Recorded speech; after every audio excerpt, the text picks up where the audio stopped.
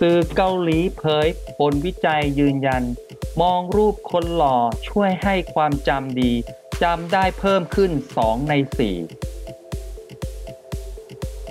รู้หรือไม่ว่าการที่เราชื่นชอบคนหล่อหรือนั่งมองรูปคนหล่อๆอยู่นั้นบ่อยๆ เนี่ย นอกจากจะส่งผลดีต่อจิตใจแล้วเนี่ยยังทำให้ความสามารถในการจดจำของเราดีขึ้นได้อีกด้วยนะครับ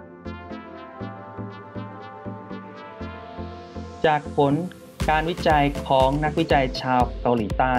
พบว่าการมองรูปคนหล่อจะช่วยเพิ่มความสามารถในการจดจำได้มากขึ้น ซึ่งจริงๆ แล้วการวิจัยนี้เนี่ยถูกเปิดเผยครั้งแรกเมื่อราวๆหนึ่งปีก่อน ในรายการทางช่อง KBS 1แต่ทาง Dispatch ได้นำการทดลองชิ้นนี้เนี่ยมาเผยแพร่อีกครั้งเมื่อไม่กี่วันที่ผ่านมา ทางออกอากาศทางรายการช่อง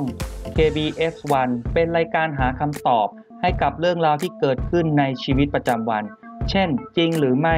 ที่เวลาดูหนังสยองขวัญอุณหภูมิร่างกายจะลดลง โดยอ้างอิงจากทฤษฎีทางวิทยาศาสตร์ ทางรายการได้เผยแพร่ข้อมูลการทดลองเกี่ยวกับความสามารถในการจดจำที่ทดลองกับกลุ่มผู้หญิงวัยกลางคน โดยให้จำชื่อของคาแรคเตอร์เป็นเวลา 1 นาที และเปรียบเทียบกับครั้งที่ 2 ที่ให้ดูชื่อคาแรคเตอร์ไปพร้อมๆ กับการดูรูปคนหล่อ และผลปรากฏว่า ผู้หญิงวัยกลางคนที่เป็นกลุ่มทดลองสามารถจำชื่อของคาแรคเตอร์ได้มากขึ้น จากเดิม 2 ชื่อเป็น 4 ชื่อ เมื่อทำการทดลองขนาดดูรูปคนหล่อนะครับ ผลการทดลองนี้กล่าวว่าการดูรูปคนหล่อจะทำให้คลื่นสมองได้ขยับเร็วขึ้น ซึ่งมีส่วนช่วยในการจดจำทางสถาบันทดสอบสมองได้กล่าวไว้ว่า จากการทดลองการดูรูปคนหล่อ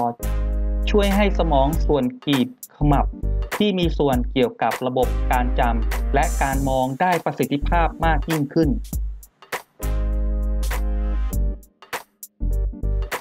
แต่ก็ใช่ว่าทฤษฎีนี้เนี่ยจะได้ผลเหมือนกันทุกเพศนะครับ เพราะการทดลองเดียวกันกับเพศชาย ก็พบว่าการดูรูปผู้หญิงสวยนั้นส่งผลกับความสามารถในการจดจำของผู้ชายที่ต่างออกไป โดยผู้เชี่ยวชาญกล่าวว่าสำหรับผู้ชายแล้ว ความจดจ่อต่อสิ่งที่ต้องการจดจำนั้นจะลดลงเมื่อดูรูปผู้หญิงสวยนะครับ งานนี้เนี่ย คนชมคลิปหลายๆ คนเนี่ยก็อาจจะต้องไปหาโปสเตอร์ หรือว่าอัลบั้มสินค้าต่างๆนะที่มีผู้ชายหล่อๆเนี่ยมาแปะไว้ทั่วห้องแล้วนะครับ ส่วนถ้าใครที่เป็นผู้ชายเนี่ยผลวิจัยอาจจะตรงกันข้ามกันนะ เพราะว่าอย่างที่บอกนะผู้ชายเนี่ยมองผู้หญิงสวยแล้วเนี่ยความจดจำของเราเนี่ยไม่ได้เพิ่มขึ้นนะแต่ถ้าผู้หญิงมองผู้ชายหล่อเนี่ย